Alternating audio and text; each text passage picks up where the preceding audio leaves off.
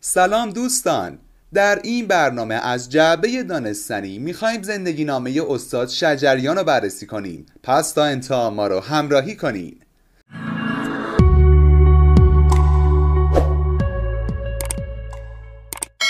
محمد رضا شجریان قبل از اینکه موسیقی پیشه کنه یک قاری قرآن تمام ایار بود.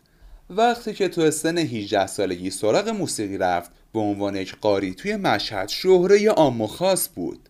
سال 58 زمانی که شجریان کارمند رادیو شده بود رئیس وقت رادیو آقای وجیه اللهی ازش خواست که با توجه به تغییرات و تحولات سیاسی و مذهبی ایران برای پخش آثار جدید قبل از افتار یه طرحی رو انجام بده. شجریان در این مورد گفت اونها نمی‌خواستن که آثار دوره قبلی رو پخش کنن. به ایشان گفتم سال هاست که من از اون فضا دور شدم و راه من با موسیقی و ارکست تعریف شده. الان کار من این نیست.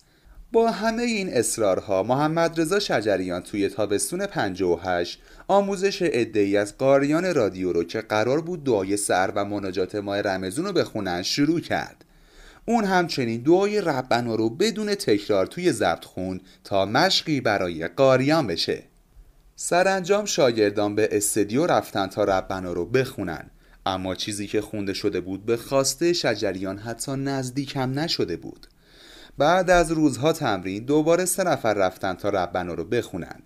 استاد بخشی رو می‌خوند و اونا تکرارش می‌کردن تا اینکه در نهایت ربنا ضبط شد.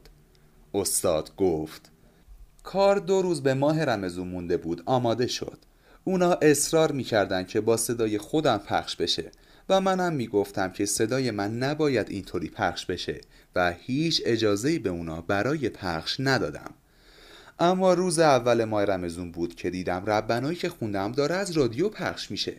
زنگ زدم با آقای وجی دیدم ایشون خیلی خوشحال و میخنده. گفت که این تیر از کمان رها شده و من اینو کپی کردم و به همه رادیو و شهرستانا دادم و همه این کارو پخش می‌کنن. بهش اعتراض کردم اما اون خندید و گفت که ما برنامه به این خوبی را از دست نمیدیم و این کارو باید همه مردم بشنون. پخش ربنا با صدای محمد رضا شجریان از سال 58 آغاز شد. پخشی که سالهای اول بدون نام خواننده بود و خود شجریان اجازه افشای نامش را نداد. اما در سالهای بعد با استقبالی که مردم از این اثر کردند خود شجریان اجازه افشای نامش را می دهد. افراد بسیاری دلیل عدم پخش ربنا از تلویزیون را عدم رضایت ایشان به پخش آثارش از صدا و سیما می دانند.